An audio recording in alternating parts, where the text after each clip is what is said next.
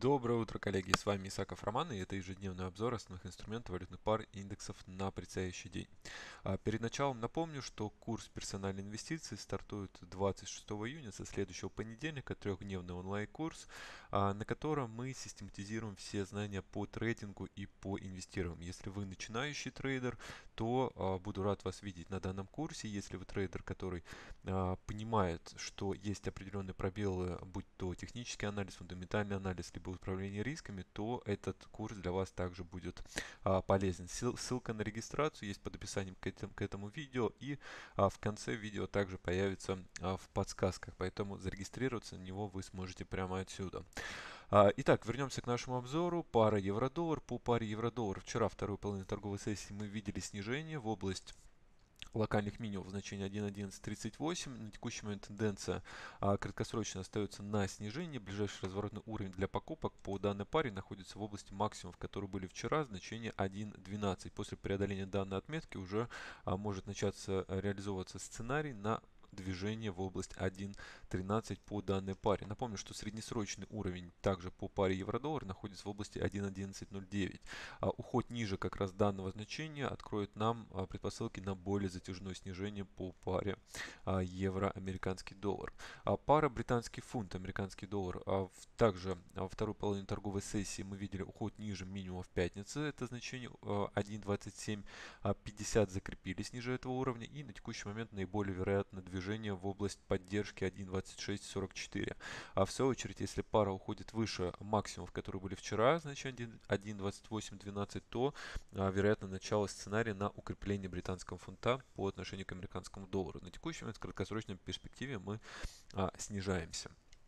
А пара австралийский доллар, американский доллар на текущий момент остается также в восходящем тренде, в восходящем движении.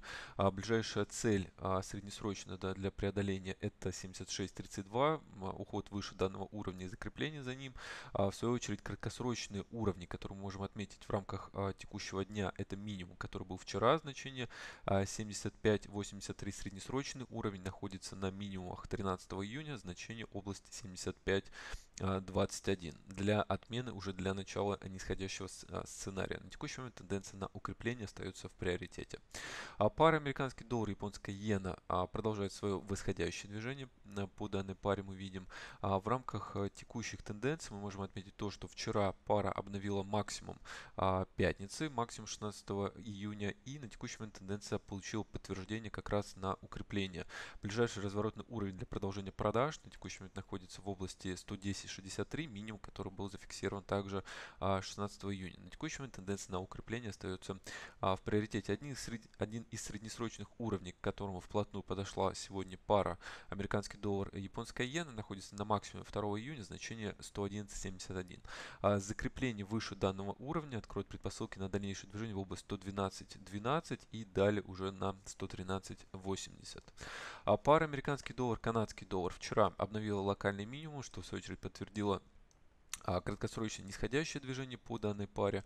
А ближайшая цель находится в области 1.3165 и отмена данного сценария а, находится а, по ценам 1.3254, максимум, который был зафиксирован вчера. Если мы уходим увидим уход выше а, локальных максимумов, а, максимум предыдущей торговой сессии, то вероятно уже а, продолжение восходящего движения по данной паре. И также здесь мы увидим тенденцию на укрепление американского доллара.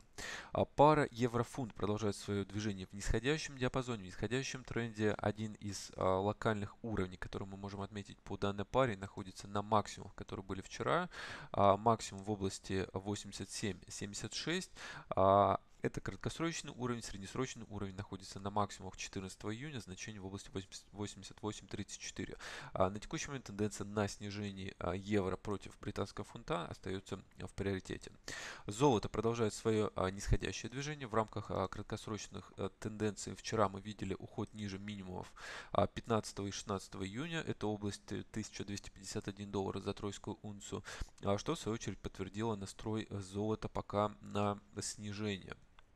А, также Золото прошло а, среднесрочный уровень в области 1246 долларов за тройскую унцию. Это минимум, который был а, в середине мая зафиксирован. И на текущий момент тенденция на снижение в область 1217 долларов за тройскую унцию а, остается в приоритете. По крайней мере, до тех пор, а, до тех а, уровней, которые мы отметили а, в рамках часового а, таймфрейма, ближайший максимум это 1257 долларов за тройскую унцию, максимум, который был зафиксирован а, в пятницу. А нефть марки Brent продолжает также торговаться в узком диапазоне. На текущий момент мы отметили а, локальные цели. А, среднесу... Уровень сопротивления находится в области 48-46 для а, покупок, для продолжения продаж и, собственно, для продолжения нисходящего тенденции по нефти. Это обновление минимум в области 46, 46 минимум, которые были зафиксированы последние три торговые сессии. Ну и по индексу DAX сегодня с утра мы видим вновь обновление локальных максимумов, поэтому на текущий момент тенденция на укрепление остается в приоритете. А ближайший среднесрочный уровень, который мы можем отметить по данному активу, находится на минимуме 15 а, июня, значение 12616. На текущий момент тенденция на укрепление в этом инструменте остается также в приоритете. Итак, коллеги, всем спасибо за внимание. Напоминаю, курс э, персональной инвестиции со следующей недели, понедельник, среда, пятница, три дня, начало 18.00 по московскому времени. Ссылка сейчас появилась перед вами, поэтому регистрируйтесь и э, буду рад вас видеть на данном э, курсе. Всем спасибо за внимание и увидимся уже на следующих обзорах.